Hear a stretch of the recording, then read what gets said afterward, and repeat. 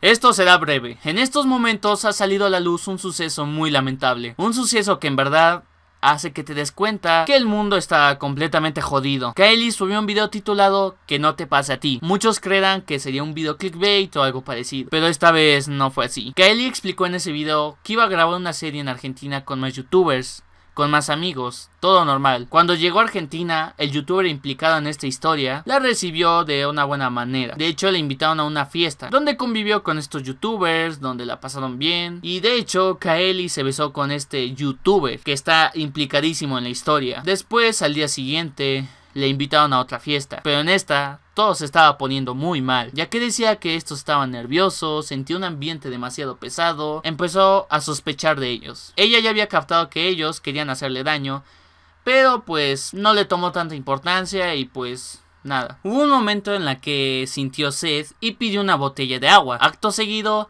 los youtubers fueron a una habitación por unas botellas y trajeron muchas. Y Kelly, al abrir su botella, vio que esta fue manipulada y se dio cuenta que le pusieron una sustancia para dormirla. En eso ella hizo un chiste de que manipulaban su botella. Los youtubers se empezaron a poner muy nerviosos y a contradecirse. En eso Kelly se dio cuenta que estaba en peligro. Ella intentó salir y pedir ayuda. Intentó salir de una u otra manera. Por suerte pudo llamar a la policía y la policía llegó a la casa. Los tipos se dieron cuenta de que Kelly fue la que pidió que viniera la policía. Y aquí es donde viene lo peor. Ella vio llegar a la policía por un balcón.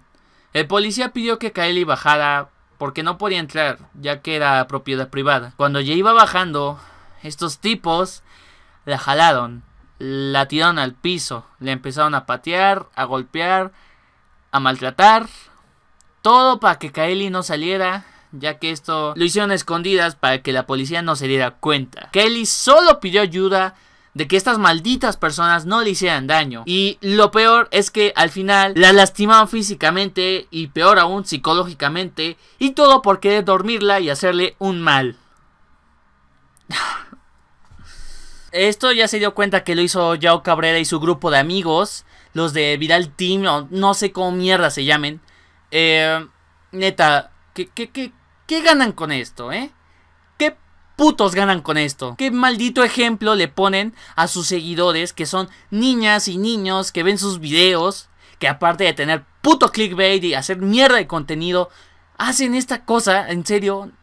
Eh, muchos dirán, no es que no hay pruebas de que hayan sido ellos. Sí, sí hay pruebas. Y, a pesar de que en el video de Kylie no, no presente ninguna prueba, hay coincidencias en, en, sucesos que ya habían pasado. Yao Cabrera no ha dicho nada, el, muy pocos huevos, pero pues...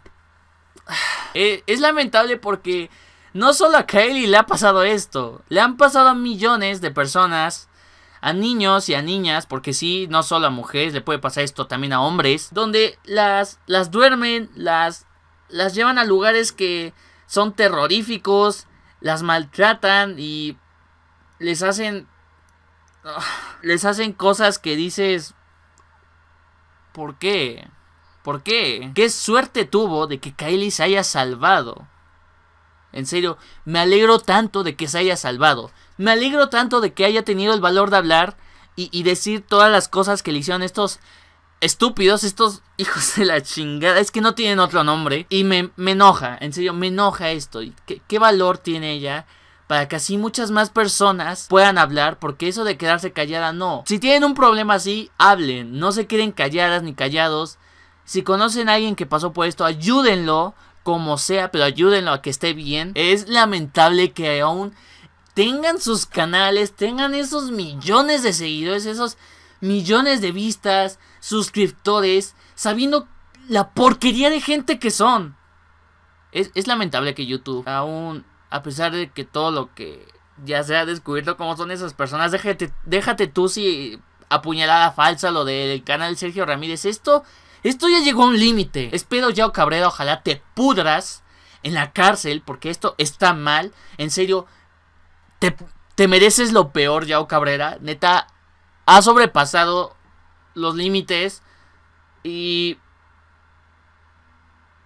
ojalá te toque lo, que te mereces, ¿eh?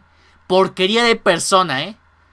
Asco que das. Kylie, obvio sé que no vamos a ver esto, pero aún así te mando apoyo. No solo a ti, a cualquier persona que esté sufriendo esto, le, le mando todo el apoyo posible. Y pues nada, esto ha sido todo y nos vemos para la otra. Chao.